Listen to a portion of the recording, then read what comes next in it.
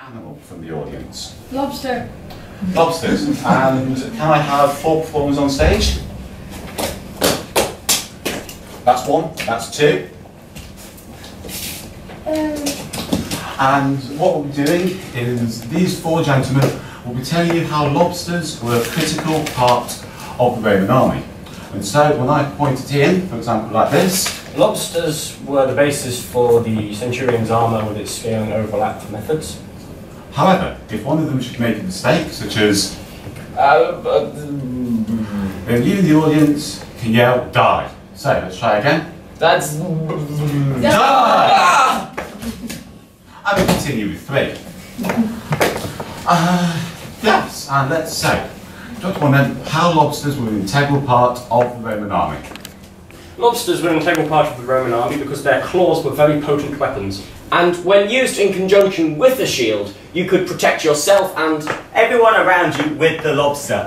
In, in addition, they also doubled as rudimentary weapons. You see, their claws were very useful at shearing. through enemies. So Romans would tape lobsters to their fists, inventing lobster rage gauntlets. and using the rage gauntlets, they would punch through the barbarians until there were no none left. Italian accents. And then uh, they took uh, the lobsters, and when they had finished the fighting, they started on uh, the eating, and it is very well No, known. Italian accents. Okay, uh, let's know some of the weaknesses of using lobsters. One of the weaknesses of using lobsters is that they were prone to being cooked by the sheer heat that centurions emanated from their fists when in full-on rage mode. It also, meant that if they were far from the sea, the lobsters that they were fighting with Were liable to die.